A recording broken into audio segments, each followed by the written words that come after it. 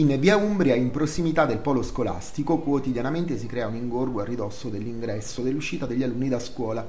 Peraltro il personale scolastico, dopo la sacrosanta chiusura della strada intitolata a Falcone Borsellino, considerata la cospicua presenza di strisce blu nella zona, deve girare a lungo prima di trovare un parcheggio gratuito. Ed allora Elvira Barone, capogruppo del Movimento 5 Stelle al comune di Isernia, ha preso carta e penna ed ha scritto una lettera al sindaco Castrataro e all'assessore al ramo di Baggio per trovare una soluzione condivisa alle varie problematiche.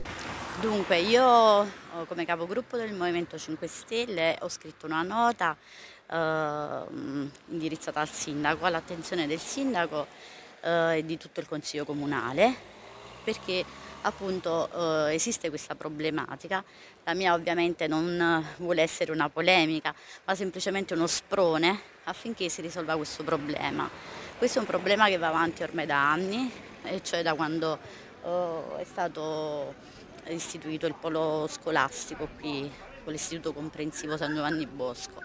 E diciamo che il polo è, è un polo eccellente, anche se in pieno centro e quindi di conseguenza non si è provveduto, insomma la vecchia amministrazione non ha provveduto a creare un, un piano traffico che potesse evitare appunto gli ingorghi che si creano uh, ogni giorno all'entrata e all'uscita di scuola.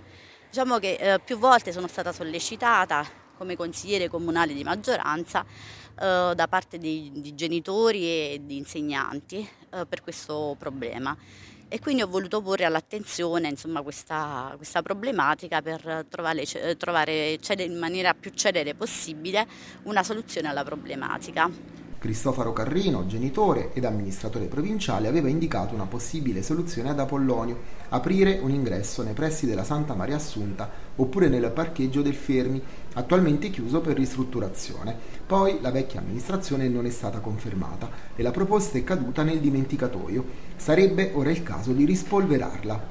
Già ne ho parlato con il sindaco e con l'assessore di Baggio e sono sicura che con le loro capacità con, con la, sapranno sicuramente trovare una soluzione, che poi tra le altre cose non penso che sia un problema molto difficile da affrontare, in quanto questo, già qualche soluzione era stata mh, ideata e pensata dal consigliere provinciale eh, che poi è stato mh, diciamo, riconfermato.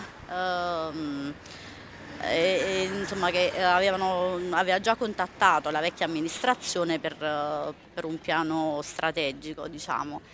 E, e poi fu tutto abbandonato. Io mi auguro vivamente che questa volta invece il problema si risolva, perché in pratica gli insegnanti prima di trovare un parcheggio devono girare per ore, no, ore no, però insomma devono girare abbastanza anche perché eh, le strisce blu siamo completamente invasi da strisce blu e quindi loro che devono rimanere una mattinata intera eh, devono parcheggiare la macchina in un posto più consono, cioè dove, laddove non devono pagare il biglietto.